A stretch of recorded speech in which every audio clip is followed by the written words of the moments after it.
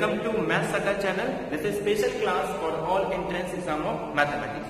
तो मैं अभिषेक तिवारी तो आज हम डिस्कस करेंगे डेरिवेटिव का लेक्चर नंबर थ्री तो लेक्चर नंबर वन में हमने क्या डिस्कस किया था कि अगर हमारे पास कोई स्टैंडर्ड फ़ंक्शंस होंगे तो उनका हम डेरिवेटिव कैसे फाइंड कर सकते हैं और उन स्टैंडर्ड फ़ंक्शंस का यूज़ करके हमने डेरिवेटिव फाइंड किया था दो फ़ंक्शंस के एडिशंस का डेरिवेटिव दो फ़ंक्शंस के प्रोडक्ट डिफरेंस और स्केलर प्रॉपर्टी को हमने डिस्कस किया था। तो यानी कि इनडायरेक्टली हम ये कह सकते हैं कि अल्जेब्रा और डेरिवेटिव हमने फाइंड किया था। मतलब अल्जेब्रा और डेरिवेटिव अब अल्जेब्रा का मतलब क्या होता है कि अगर हम किसी भी, कोई भी मैथ्स की टॉपिक पढ़ रहे हैं, चाहे वो नंबर्स हो या फिर मैट्राइसेस लॉजिक सेट तो उसमें हम अल्जेब्रा करते हैं। अल्जेब्रा मतलब कुछ ऑपरेशन अप्लाई करते हैं। अगर हमारे पास कोई दो क्वांटिटी है, दो चाहे वो दो नंबर्स हो, चाहे दो मैट्रिक्स हो, चाहे दो स्टेटमेंट्स हो तो उनको आपस में कंबाइन करने के लिए या फिर उनको कनेक्ट करने के लिए हम कुछ ऑपरेशन अप्लाई करते हैं। तो उस ऑपरेशन को हम कहते हैं अल्जेब्रा यानी अल्जेब्रा में हम जैसे नंबर्स में हम एडिशन करते हैं सब्ट्रैक्शन करते हैं मल्टीप्लीकेशन तो इसे हम एरिथमेटिक ऑपरेशन कहते हैं। तो ये सारे अल्जेब्रा के ही पार्ट है। या फिर ये कह सकते हैं it is the branch of algebra और algebra is the branch of mathematics तो हमें अल्जेब्रा हमने डिस्कस किया है। तो ऐसे ही अल्जेब्रा का एक और सबसे इंपॉर्टेंट कॉन्सेप्ट आता है फ़ंक्शंस के अंदर, जिसे हम कंपोजिट कहते हैं। अब कंपोजिट का मतलब क्या होता है? कि अगर मान लो एक फ़ंक्शन है, जो कि ए से लेके बी तक जा रहा है ए बी सेट के बीच में हमने फ़ंक्शन डिफाइन किया। ऐसे बी और सी के बीच में हमने एक फ़ंक्शन डिफाइन किया। अब डायरेक्टली ए को डोमेन मान के हमारा आउटपुट सी में आना चाहिए तो हम डायरेक्टली एक फ़ंक्शन डिफाइन करते हैं जैसे हम कहते हैं जी कंपोजिट एफ़ अब उस कंपोजिट फ़ंक्शंस का डेरिवेटिव कैसे फाइंड करेंगे, वो आज हम डिस्कस करेंगे। तो अब तक हमने क्या पढ़ा? है जैसे कि फॉर एग्जांपल हमारे पास स्टैंडर्ड एग्जांपल तो स्टैंडर्ड एग्जांपल क्या है? जैसे x टू n का डेरिवेटिव हमने निकालना सीखा इसके अलावा जितने भी ट्रिग्नोमेट्री फ़ंक्शन होते हैं sine x cos x tan x उन सारे फ़ंक्शंस के हमने डेरिवेटिव फाइंड किए। इसके बाद हमने लॉग एक्स का डेरिवेटिव देखा e raise to x exponential function natural a raise to x का डेरिवेटिव रूट एक्स का डेरिवेटिव क्या होता है? वन बाय एक्स उसके बाद हमने इनको कंबाइन करना स्टार्ट किया, जैसे कि suppose x to n plus root x या फिर हम one by x into sine x cos x plus two into sine x तो यानी कि हमारे पास कुछ स्टैंडर्ड फ़ंक्शन थे। उन स्टैंडर्ड फ़ंक्शन को हमने एडिशन सब्ट्रैक्शन मल्टीप्लीकेशन करके उसका डेरिवेटिव फाइंड किया। यानी कि अल्जेब्रा और डेरिवेटिव जैसे इन जनरल क्या कह सकते हैं? अल्जेब्रा और डेरिवेटिव अब क्या करना है? हमें कुछ ऐसे फ़ंक्शन के डेरिवेटिव फाइंड करने जैसे फॉर एग्ज़ाम्पल अब मैं क्या करता हूँ साइन में यहाँ पे जो एक्स होता है एक्स में क्या करता हूँ, किसी और फ़ंक्शन को डिफाइन कर दू यानी कि साइन और साइन ऑफ़ एक्स एक काम करता हूँ रूट के अंदर किसी एक लॉग एक्स को डाल दू। यानी रूट में एक ऑलरेडी एक फ़ंक्शन है, अब रूट के अंदर और एक फ़ंक्शन डाल दो। एक काम करता हूँ कॉस एक्स के अंदर एक्स स्क्वायर को डाल दो। मतलब यहाँ पे x होना चाहिए बट मैं एक्स के प्लेस पे किसी और फ़ंक्शन को इंक्लूड कर दूँ। जैसे फॉर एग्ज़ाम्पल यहाँ पे लॉग x होता है, मैं काम कर देता हूँ, log e raise to x लिख देता हूँ। या फिर e raise to root x लिख दूँ।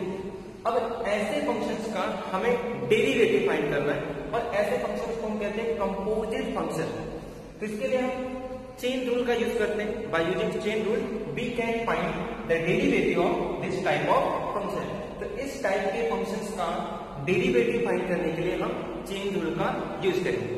तो आज का जो हमारा टॉपिक है, उसमें हम डिस्कस करेंगे कि कैसे किसी कंपोजिट फ़ंक्शन का या हम डेरिवेटिव कैसे फाइंड कर सकते हैं। फॉर एग्ज़ाम्पल इस टाइप के पास आपके पास फ़ंक्शन होगा। या फिर इन जनरल ये कह सकते हैं कि फ़ंक्शंस के अंदर फिर कोई एक नया फ़ंक्शन डिफाइन किया होगा और उसका डेरिवेटिव फाइंड करना बाय यूजिंग चेन रूल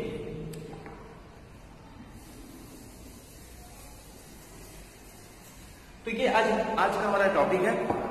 तो प्लीज़ जिन्होंने भी स्टार्टिंग के फ़र्स्ट और सेकेंड लेक्चर नहीं देखे तो वो स्टार्टिंग का फ़र्स्ट और सेकेंड लेक्चर देख सकते हैं। और इस लेक्चर को स्टार्टिंग से लेके एंड तक पूरा देखो। जो भी इस चैनल को फ़र्स्ट टाइम देख रहे हैं तो प्लीज़ चैनल को सब्सक्राइब करें और बेल आइकन को प्रेस कर दें ताकि आपको सारे अपकमिंग वीडियोस के नोटिफिकेशन मिल सके। और अगर वीडियो अच्छा लगता है तो प्लीज़ लाइक और कमेंट करें। तो स्टार्ट करते हैं आज का सेशन कि डेरिवेटिव ऑफ़ कंपोजिट फ़ंक्शन तो अब आपको सिंपल रूल याद रखना है। मैं आपको चेन रूल बता देता हूँ कि चेन रूल होता है। जैसे मान लो कि एक फ़ंक्शन है जी ऑफ़ एक्स ठीक है? मतलब जो, जैसे कि मैं कह रहा हूँ कि वाई हमारे पास लिखते ना? Y is equal to f of x इस टाइप का फ़ंक्शन होता है। बट मैं ये कह रहा हूँ कि अब मेरे पास वाई एक यू में है, जो कि यू खुद किसका फ़ंक्शन है एक्स का फ़ंक्शन जैसे मैं ये कह सकता हूँ कि y is equal to root of x तो यहाँ तक अगर ध्यान से देखें तो मैं यू को कैसे डिफाइन कर सकता हूँ? यहाँ पर मैं लिख सकता हूँ u of x is equal to x और इस वाई को डिफाइन कर सकता हूँ रूट ऑफ़ यू तो मतलब क्या हो रहा है कि वाई जो फ़ंक्शन है वो यू का है बट यू किसका फ़ंक्शन है? एक्स का फ़ंक्शन यानी कि फ़ंक्शन पे फिर से हम एक, ये हमारे पास एक्स का एक आइडेंटिटी फ़ंक्शन है और उसमें हम रूट अप्लाई कर रहे हैं।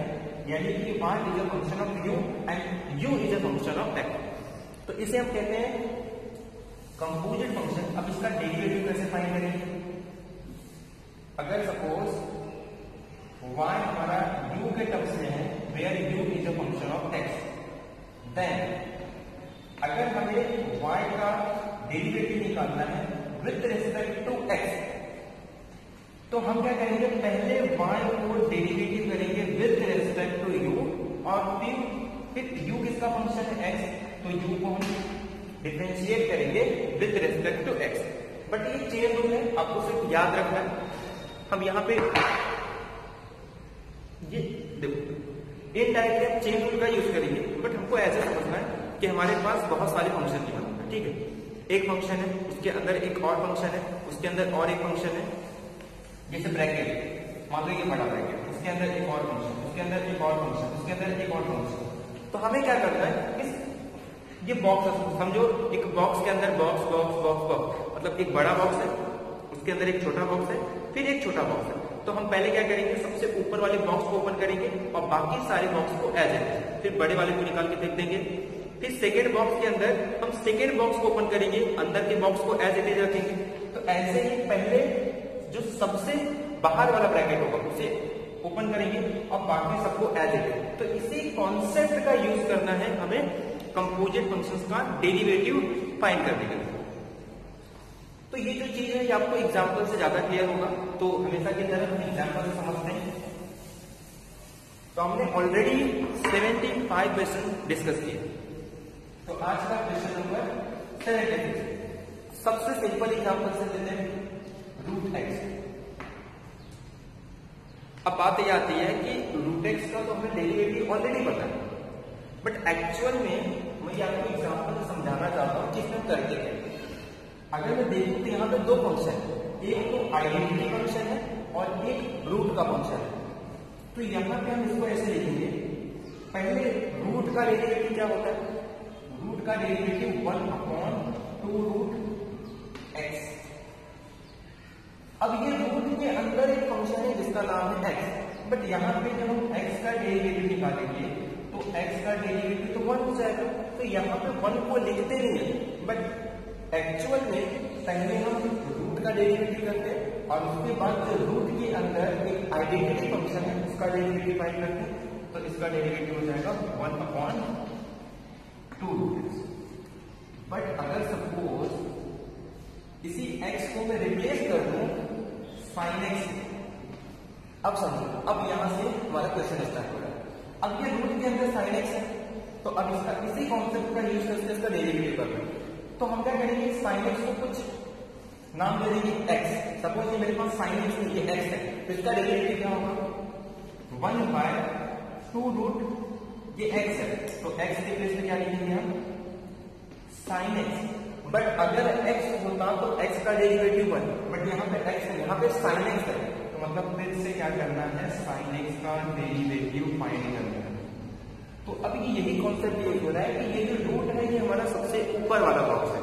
और उस अंदर उस बॉक्स के अंदर की बॉक्स है जिसका नाम है साइन एक्स और फिर हमने क्या किया? साइन एक्स को भी ओपन किया। अब ओपन करने से मतलब यहाँ पे हमें डेरिवेटिव निकालना हम फ़र्स्ट टाइम ओपन कर रहे हैं मतलब फ़र्स्ट टाइम डेरिवेटिव फिर सेकेंड टाइम ओपन कर रहे हैं मतलब उसके जो अंदर बॉक्स था, यानी कि उसके अंदर के फ़ंक्शन को डिफ्रेंशिएट कर रहा है। जैसे मान लो ई टू एक्स किया है। अब यहाँ पे इज़ इक्वल टू लिख रहा हूँ तो यहाँ पे इज़ इक्वल टू का मतलब ये नहीं है कि डेरिवेटिव समझो, हम ऐसे लिख रहे हैं कि यहाँ पे इसका डेरिवेटिव यहाँ पे इसका डेरिवेटिव तो इसका डेरिवेटिव क्या होगा? ई टू एक्स स्क्वायर है। अब e raise to x square को ऐसे समझना है कि ये जो एक्स है ना, इसको एज ए एक्स ट्रेड करना है। एंड वी नो दैट कि ई रेस टू एक्स का derivative e raise to x but x नहीं लिखना है। एक्स को हमने क्या ट्रेड किया था? एक्स स्क्वायर को एक्स ट्रेड किया था। तो एक्स के प्लेस पे वैल्यू पुट करेंगे e raise to x square अब अगर x होता तो x के डेरिवेटिव वन बट यहाँ पे x नहीं है तो x स्क्वायर का डेरिवेटिव क्या होगा? 2x समझ में आ रहा है क्या कर रहे हैं? पहले हम जो सबसे बाहर है, उसका डेरिवेटिव फाइंड करेंगे और उसके अंदर जितने फ़ंक्शंस होंगे, उनका हम डेरिवेटिव फाइंड करेंगे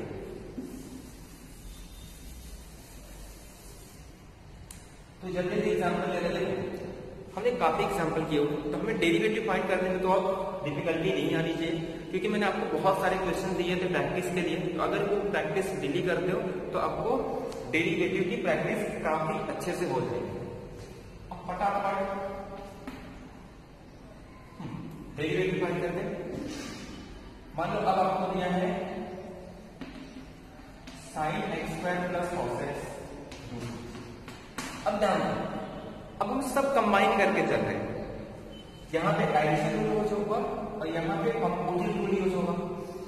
तो अगर इसका डेरिवेटिव फाइंड करेंगे तो साइन एक्स का डेरिवेटिव क्या होगा? अब ये देखो, इस एक्स स्क्वायर को एज अ एक्स ट्रेड करना तो ये साइन एक्स की डेरिवेटिव क्या होगी? कॉस एक्स बट एक्स के प्लेस पे क्या लिखना है एक्स स्क्वायर ए टू अब एक्स स्क्वायर का फिर से डेरिवेटिव करेंगे तो ये टू एक्स हो जाएगा यानी कि टू इंटू एक्स प्लस अब यहाँ पे cos x का डेरिवेटिव करना है तो cos x की डेरिवेटिव क्या हो जाएगी? माइनस साइन x नहीं, क्योंकि x के प्लेस पे क्या है? रूट एक्स है, और रूट एक्स का फिर से डेरिवेटिव लेंगे तो one upon two root x तो ये इसका डेरिवेटिव और एक एग्ज़ाम्पल लेते हैं। मान लो x into sine x square minus cos e raise अब ये ध्यान दो, ये एंगल पे ई रेस टू एक्स है। यानी कि जो कॉस एक्स होता है ना एक्स के प्लेस पे ई रेस टू एक्स अब इसका डेरिवेटिव क्या होगा? अब यहाँ पे प्रोडक्ट रूल यूज़ होगा। तो एक्स को as it is sine x का डेरिवेटिव लेंगे साइन एक्स का डेरिवेटिव क्या होगा? तो साइन एक्स का डेरिवेटिव कॉस एक्स इसका हमने ऑलरेडी देखा इसका डेरिवेटिव क्या हो जाएगा? टू इंटू ये एक्स स्क्वायर और यहाँ पे कॉस एक्स स्क्वायर प्लस अब सेकेंड टाइम इसको एज इट इज़ रखेंगे और एक्स का डेरिवेटिव और एक्स का डेरिवेटिव कितना होता है? वन और इसको एज इट ये हो जाएगा sine x square minus cos of e raise to x अब cos of e raise to x में कॉस एक्स का डेरिवेटिव क्या होता है? माइनस साइन एक्स तो minus minus plus sine of x place पे ई रेस टू एक्स और ई raise to x का फिर से डेरिवेटिव लेना है तो ई रेस टू एक्स का फिर से डेरिवेटिव हो जाएगा e raised to x. Now, that is the derivative. of तो क्लियर हो गया कि कंपोजिट फ़ंक्शंस में हम डेरिवेटिव किस तरीके से फाइंड करें? अभी देखो कॉन्सेप्ट तो क्लियर हो गया कि फ़ंक्शन के अंदर फिर से एक फ़ंक्शन होगा, उसका डेरिवेटिव फाइंड करना है। अब हम इसके लेवल को बढ़ाते हैं। अब इसमें क्या करना है? आपको जितने क्वेश्चंस मिलते हैं ना, उस क्वेश्चंस को आप प्रैक्टिस करो।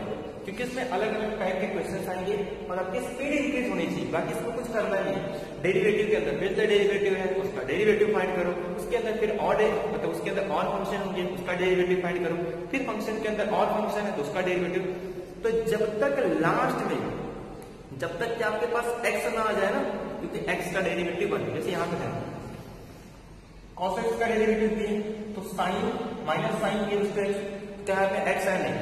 अब ई रेस टू एक्स का डेरिवेटिव करें तो ई रेस टू एक्स का डेरिवेटिव ई रेस टू फिर से एक्स अब एक्स आ गया एक्स का डेरिवेटिव कितना होता है वन तो जब तक लास्ट में आपके पास एक्स ना आ जाए, तब तक उसका डेरिवेटिव करते जाए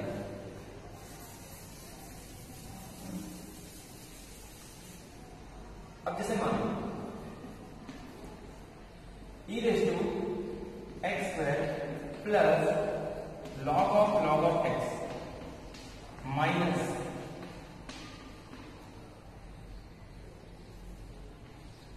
cos x square ठीक है, अब देखिए मैंने तो e raise to x square का अभी हमने डेरिवेटिव निकाला कि e raise to x square का डेरिवेटिव क्या होगा? E raise to x square but मैंने कहा, जब तक एक्स नहीं आता, उसका डेरिवेटिव करते जाना अब ध्यान दो e raise to x square है, अब एक्स स्क्वायर का डेरिवेटिव टू एक्स अब एक्स आ गया तो एक्स का डेरिवेटिव क्या होगा?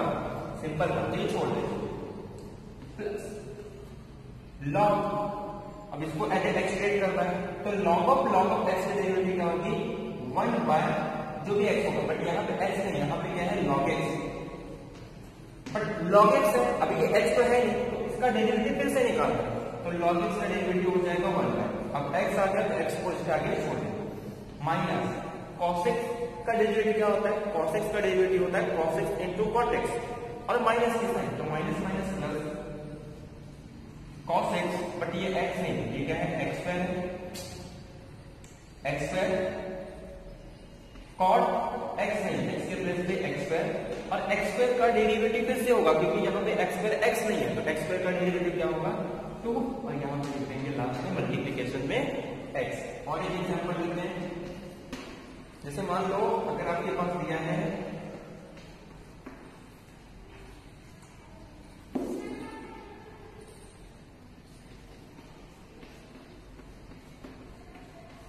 log e raise to x into x अब ध्यान से सुनो।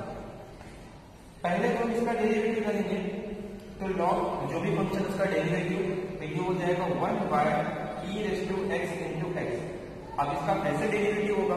अब अगर इसका डेरिवेटिव लेंगे तो यहाँ पे प्रोडक्ट रूल यूज़ होने वाला है। तो हम क्या करेंगे? प्रोडक्ट रूल का यूज़ करेंगे।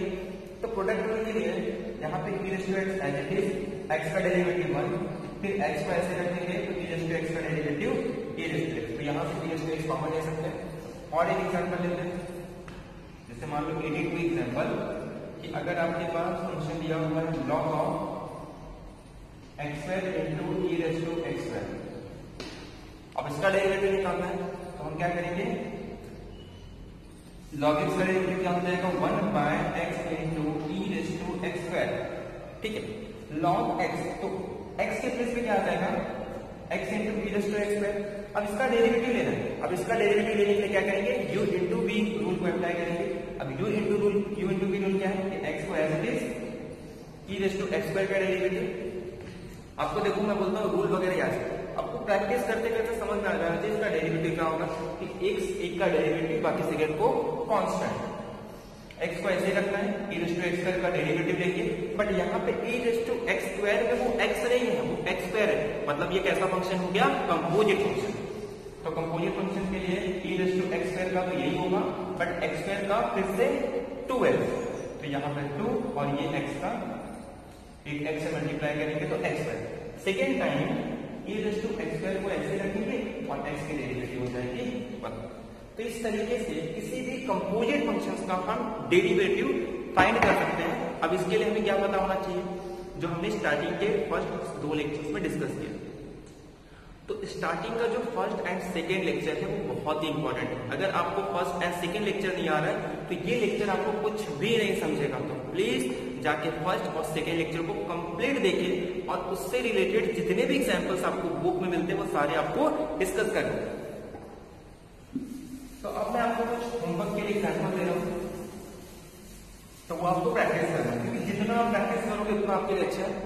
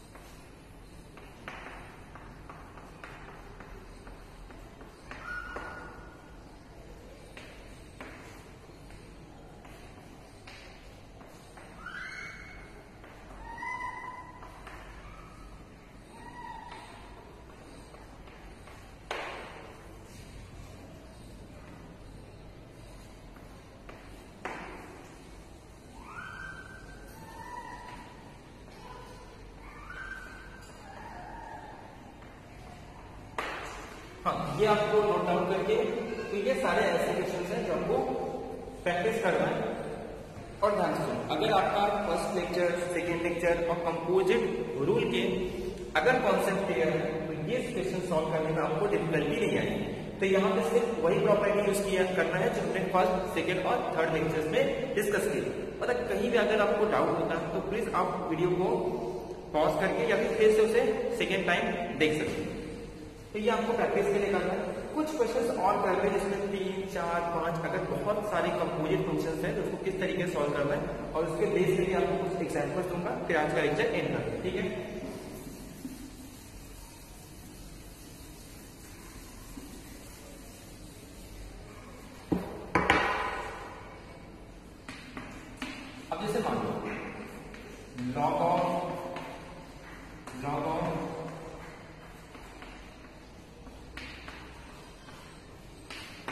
है ठीक है। अब अगर मैं ध्यान से देखूँ तो इसमें कितने फ़ंक्शन आ रहे हैं? लॉग ये तो एक फ़ंक्शन फिर सेकेंड फिर थर्ड फिर फोर्थ और यहाँ पे एक्स एक्सपेरिमेंट यानी कि इसे हम पहले बाहर वाले ब्रैकेट को ओपन करेंगे, फिर उसके अंदर वाला, फिर उसके अंदर इस तरीके से हम ब्रैकेट को ओपन करते हुए चलेंगे। अब ध्यान से तो अगर इसका डेरिवेटिव फाइंड करेंगे तो इस पूरे को एज अ करना है। ठीक है? तो मैं क्या कर रहा हूँ कि पूरे टर्म को मैं एज ए रेट कर रहा हूँ। तो इसकी डेरिवेटिव क्या हो जाएगी? वन अपॉन ए और इस ए का फिर से डेरिवेटिव ध्यान सुना इस पूरे को मैं ए कांस्टेंट रेट कर रहा हूँ, जहाँ पे a is a function of x a constant नहीं है, ये हमारे पास एक्स का एक फ़ंक्शन है। तो ये इसका डेरिवेटिव क्या होगा? लॉग ऑफ़ एक्स की डेरिवेटिव क्या होती है? वन बाय एक्स ये हो जाएगा लॉग ऑफ़ ए बट अब ये का फिर से डेरिवेटिव होगा। तो यानी कि अब ये ये तो गायब हो गया। मैंने कहा था, अगर ऊपर वाला डेरिवेटिव हो गया तो इसको हटा दिया अब मेरे पास सिर्फ़ ये इतना फ़ंक्शन है। अब ये फिर से लॉग है तो ये टर्म नीचे आ जाएगा। यानी कि लॉग ऑफ़ एक्स ये अपॉन में आ जाएगा। तो इस पूरे टर्म को मैं दे देता हूँ बी तो इसकी डेरिवेटिव क्या हो जाएगी? वन अपॉन बी अब फिर क्या करना है? ये जो भी एक्स तो है, इसका फिर से डेरिवेटिव होगा। क्योंकि अगर यहाँ पे बी एक्स होता तो रोक देते। बट यहाँ पे बी एक्स नहीं है। ये है log of log of x square अब इसका डेरिवेटिव फिर से लेंगे तो इसके डेरिवेटिव के लिए लॉग ये जो भी एक्स अपॉन में आ जाएगा। तो इसे मैं दे देता हूँ सी इस टर्म को मैं दे देता हूँ सी अब बट, अब इसका डेरिवेटिव करना क्योंकि ये एक्स तो है नहीं तो ये लॉग ऑफ़ एक्स स्क्वायर है तो ये इसका डेरिवेटिव क्या हो जाएगा? वन अपॉन अब यहाँ पे लिख देता हूँ एक्स बट एक्स स्क्वायर में फिर से एक्स नहीं है तो एक्स स्क्वायर का डेरिवेटिव हो जाएगा टू एक्स तो ये हो गया हमारा आंसर अब वैल्यू कर देते हैं। यहाँ से एक्स एक्स कैंसल यानी कि two by x into a की वैल्यू यानी कि पूरा टर्म जो भी है इसको पूरा लिखना है। ये ब्रैकेट फिर सेकेंड ब्रैकेट में इस देखो फ़र्स्ट ब्रैकेट में यहाँ से लेके यहाँ तक लिखना है, पूरा ये वाले टर्म ए के प्लेस पे क्या लिखना है, यहाँ से लेके यहाँ तक सेकेंड में यहाँ से लेके यहाँ तक, और थर्ड में लॉग ऑफ़ तो ये हो जाएगा हमारा डेरिवेटिव तो इस तरीके से अगर हमारे पास तीन, चार, पाँच जितने भी फ़ंक्शन हो, इन सारे कंपोजिट फ़ंक्शन का हम डेरिवेटिव फाइंड कर सकते हैं।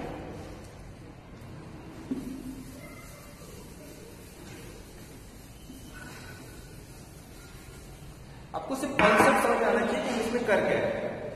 ऐसे और एक एग्ज़ाम्पल लेते हैं फ़ेमस एग्ज़ाम्पल अभी हम सिर्फ़ फाइनाइट टर्म का डेरिवेटिव सीखेंगे। आगे के लेक्चर में जब हम लॉग की प्रॉपर्टी समझेंगे तो हम वहाँ पे इनफाइनाइट इनवर्स फ़ंक्शन तो बहुत सारे हम नए नए रूल सीखेंगे। तो यहाँ पे हमें सिर्फ़ क्या करना है, जितने भी टेक्निक्स हमें यूज़ करने हैं, वो सारे हमें सीखना है। अब दूसरी बात, अगर आपका जो स्टार्टिंग के ये जो तीन लेक्चर है, अगर ये क्लियर हो जाता है तो आप कि मतलब आपके सारे कॉन्सेप्ट क्लियर हो जाएँगे। फिर आपको मेथड देखना है और फिर वहाँ से आपके धीरे धीरे आपको इजी लगने लगेगा। बट ये जो तीन लेक्चर है, ये काफ़ी इंपॉर्टेंट है। तो आपको इस तीन लेक्चर को जितने बार हो सकता है, ज़्यादा से ज़्यादा देखें ताकि आपकी पूरी कॉन्सेप्ट क्लियर हो जाए। एक बार ये तीन लेक्चर क्लियर हो गया तो आप आगे आपके लिए बहुत ईजी होने वाला है। तो यानी कि जो आपको मेहनत करनी है ना स्टार्टिंग के तीन लेक्चर्स में ही मेहनत करना है। अगर ये कॉन्सेप्ट आपका क्लियर है तो आगे आपको बहुत ही सिंपल होगा। ठीक है? अब मैं यहाँ पर सिंपल एक्स दे देता हूँ। तो क्या करना है? इसका आंसर होता है कि जब भी रूट में आ जाए वन अपॉन तो अब इस पूरे को मैं क्या दे देता हूँ? ए तो ये मेरे पास टू अपॉन ये हो जाएगा। देखो ये पूरे टर्म को मैं ए दे रहा हूँ। आंसर क्या होता है? कि रूट एक्स के derivative one by two root x मतलब पूरा वाला टर्म रूट एक्स में आ रहा है। यानी कि पूरी वाली रूट एक्स के टर्म पूरी नीचे आ रही है ना? मतलब कि जो पूरा रूट है नीचे आ रहा है। और इस अंदर वाले पार्ट को मैं बोल दे रहा हूँ ए बट ये ए नहीं है. ये मतलब ये एक्स तो है नहीं पूरा टर्म देखो, इस पूरे टर्म को मैं ए अब ये एक्स तो है नहीं फिर से रूट है तो अब मैं इसको दे देता हूँ one upon two root B अब बी क्या है यहाँ ये वाला पार्ट अब ये फिर से एक्स नहीं है, ये टर्म एक्स नहीं है रूट है। यानी मैं यहाँ पे one upon two root x लिख सकता हूँ क्योंकि ये सिर्फ़ रूट एक्स है और रूट एक्स का डेरिवेटिव क्या होता है? One by two root x और उसके बाद एक्स का डेरिवेटिव तो तो ये हमारे पास डेरिवेटिव अगर मैं ध्यान से देखूँ टू टू टू ये हो जाएगा वन बाय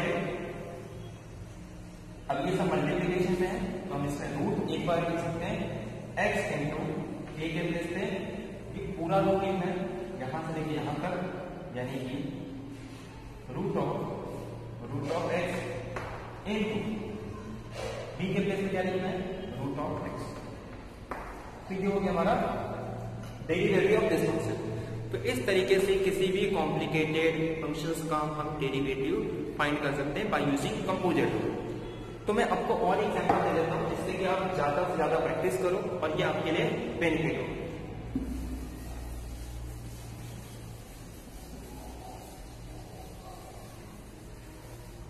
तो ये हमारे पास आज कंपोजिट कंप्लीट हो जाएगा। नेक्स्ट लेक्चर में हम डिस्कस करेंगे कि इनवर्स फ़ंक्शंस का डेरिवेटिव कैसे फाइंड करते हैं। जो ये आज का टॉपिक है ना, ये ट्वेल्थ जो अगर महाराष्ट्र स्टेट बोर्ड से है तो महाराष्ट्र स्टेट बोर्ड के ट्वेल्थ का जो पहला एक्सरसाइज है 1.1 वो आज का जो लेक्चर है वो 1.1 है। इसके पहले के जो फ़र्स्ट और सेकेंड लेक्चर थे, वो उनको इलेवेंथ में ही ऑलरेडी कंप्लीट हो गया था। तो आज का जो लेक्चर है वो ट्वेल्थ के महाराष्ट्र बोर्ड, स्टेट बोर्ड है, वो ट्वेल्थ का पहला एक्सरसाइज है। और इसके अलावा जो कॉमर्स सेक्शन है, महाराष्ट्र बोर्ड के जो कॉमर्स वाले, उनके लिए स्टार्टिंग से लेके पूरा ये लेक्चर है, क्योंकि उनको इलेवेंथ में शायद नहीं था तो आपको ट्वेल्थ में स्टार्टिंग से पढ़ना तो मैं आपको कुछ एग्जांपल दे रहा हूँ। नेक्स्ट लेक्चर में हम इनवर्स फ़ंक्शंस का यूज़ करके कैसे कैसे फ़ंक्शंस का डेरिवेटिव फाइंड कर सकते हैं। और कैसे इनवर्स फ़ंक्शंस का हम डेरिवेटिव फाइंड कर सकते हैं? तो ये सारी चीज़ें हम नेक्स्ट सेक्शन में डिस्कस करेंगे। मैं आपको कुछ एग्ज़ाम्पल दे देता हूँ जो आपको प्रैक्टिस के लिए करना है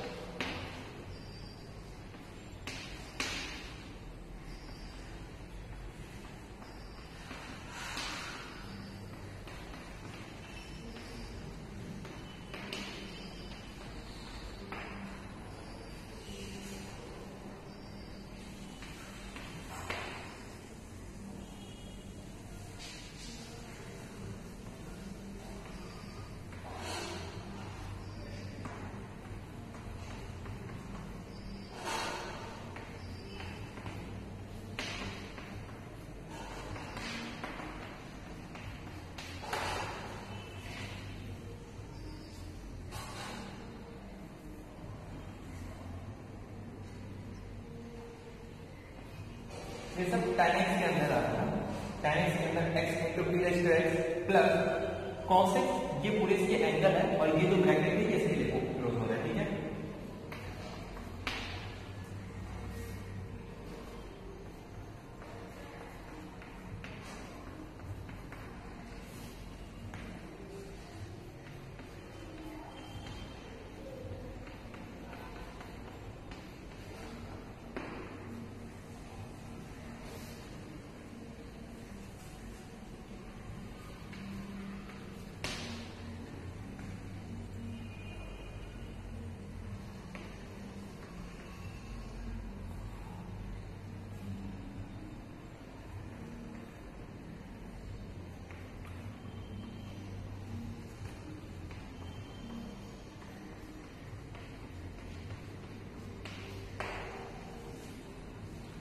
ये सेक एक्स इंटू ई और ये ई के ऊपर पूरा पूरा ये इसके पावर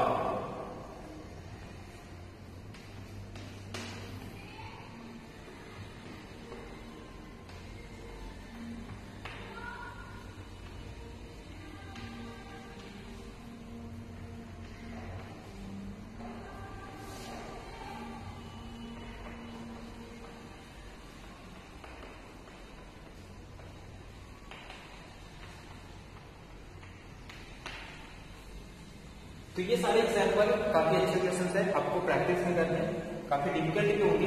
डिफ़िकल्ट मतलब आपको इसमें करने में थोड़ा टाइम लगेगा। तो आपको पेशेंस रख के, हालाँकि ये क्वेश्चन थोड़े डिफ़िकल्ट भी हैं बट फिर भी आपको ये पेशेंस रख के सॉल्व करना है। क्योंकि अगर आप इस क्वेश्चन को सॉल्व करते हो, इसका मतलब ये है कि आपका कॉन्सेप्ट पूरी तरीके से क्लियर है और आप किसी भी लेवल के क्वेश्चन को सॉल्व करते हो। आपको अगर एक बार ये सॉल्व करने आ गया फिर आप अच्छे अच्छे क्वेश्चंस को सॉल्व कर सकते हो। तो वहाँ पे तो ऑफ़ के और इजी हो जाएँगे क्योंकि वहाँ पे ट्रिक्स वगैरह यूज़ होंगे। तो उन ट्रिक्स का लॉग का यूज़ करके ट्रिग्नोमेट्रिक का यूज़ करके आप कैलकुलेशन को और सिंपल बना सकते हैं। बट आपके कॉन्सेप्ट क्लियर होने चाहिए। शॉर्ट ट्रिक का यूज़ अगर आपको तब अच्छा लगेगा, जब आप कॉम्प्लिकेटेड को सॉल्व कर रहे हैं, तब आपको ऐसा लगता नहीं, मुझे ज़रूरत है किसी ऐसे शॉर्ट ट्रिक की, जिसमें मेरा टाइम से हो, क्योंकि मैंने यहाँ पे तो आप ट्रिक को और अच्छे से कर सकते हो। बट अगर ट्रिक की आदत है तो आप अच्छे कैलकुलेशन को नहीं कर सकते तो ठीक है आज का लेक्चर यही एंड कर दें जितने एग्ज़ाम्पल एग्ज़ाम्पल से आपको सॉल्व कर दें तो ये था हमारा आज का लेक्चर तो आज के लेक्चर में हमने क्या डिस्कस किया, वही बार देख लेते हैं। तो हमने आप देखा कि अगर उसी फ़ंक्शन के अंदर अगर कोई फ़ंक्शन है तो उसका डेरिवेटिव कैसे फाइंड कर सकते हैं। इनडायरेक्टली ये चेन रूल है। हमने चेन रूल का यूज़ किया है कि अगर सपोज़ कोई फ़ंक्शन u के टर्म्स में है और u किसी u x का फ़ंक्शन है तो हम पहले u को विद रिस्पेक्ट मतलब y को विद रिस्पेक्ट टू u कर दें और फिर u को विद रिस्पेक्ट टू x तो इनडायरेक्टली जो हमने किया है, वही उसका मीनिंग होता है।